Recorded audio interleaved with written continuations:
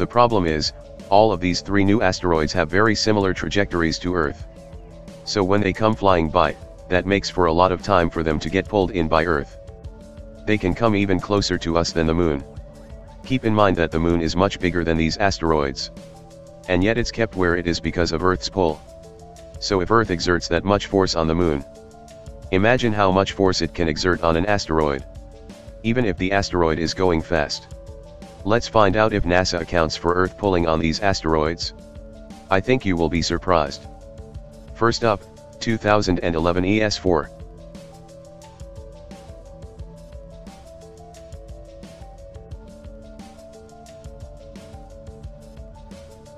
Here you can already tell from afar that we've got a dangerous situation. I wanted to show you an overview first of where things are at, literally.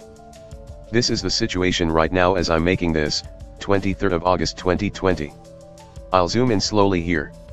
You will always see the date and what time this is, in the bottom left corner. Have a look for yourself.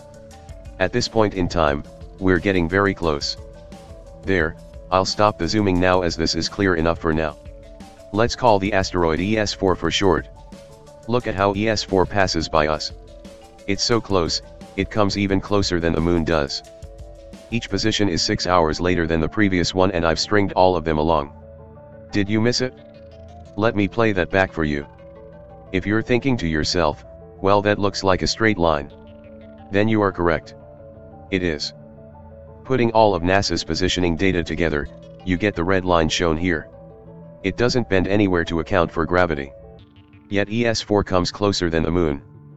Well let's now plot this ourselves on the NASA map but accounting for Earth's gravity to fully pull ES4 in. You saw that per 6 hours ES4 travels a certain distance. That's the green arrow. Measuring this will differ depending on with what screen you're looking at this. On my screen for example, it's 2.9 centimeters. But anyway ES4 travels the length of that green arrow in 6 hours time. Now the orange curve is the worst case scenario. I am assuming this starts about halfway the first 6 hours of passing the moon's orbit. When I measure this orange curve with a piece of string, it's 4.5 centimeters or 1.552 times the length of the green arrow. This means it will take 3 hours plus 6 hours times 1.552 to the supposed moment of impact. That's 12.312 hours. Actually let's make that 12 hours because ES4 will likely speed up a notch. As Earth's pull will allow it to travel more effortlessly. This means that our estimated hypothetical impact time would be 1800 hours UTC, September 1st. And where exactly is that? Let's look at what side of Earth is turned towards the asteroid. At that particular time. And zoom in. This is maximum zoom guys do you see what I see? Saudi Arabia there. I would say that the danger zone is an oval spanning anywhere from northern Saudi Arabia, to Israel on the left, to Turkey and Azerbaijan on the top, and Iran on the right. Once again here's as close to an impact prediction as we're gonna get. Next up is 2014 RC.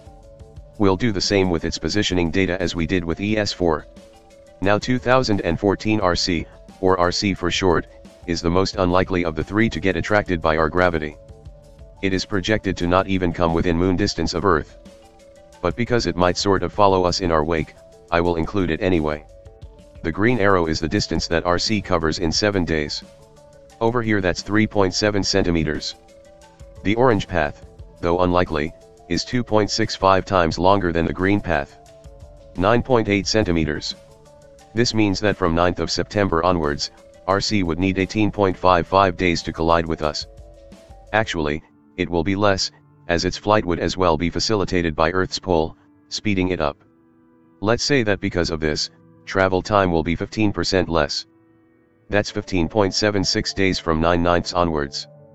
That's approximately 24th of September 1840 UTC. Let's see which side of Earth would get hit at that particular time. Coincidentally it's again the region of Saudi Arabia we see popping up. But this time, it looks like the danger zone would have Sudan and Egypt at its heart. Lastly, let's look at 2018 VP1. Again, an asteroid that passes us closer than the moon. Let's plot our own path of flight for VP1 towards Earth. Green arrow is distance traveled in 6 hours. 4.5 centimeters on my screen. The orange curve, is 10.3 centimeters. Or 2.5 times more than the green arrow. Once again accounting for the asteroid to speed up by 15% due to Earth's pull. This means it would hit on November 2nd around 12 o'clock UTC. And where would it be that it hits? It's either India or the Arabian Sea.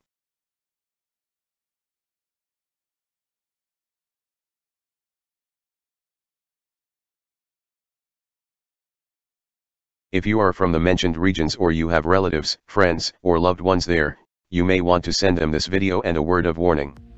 Better be safe than sorry. The safest thing to do if they were to impact aforementioned regions, would be to evacuate the area with a decent margin of error for the timing part of it. Let's avoid any bloodshed or loss of life. Take care guys and see you next time.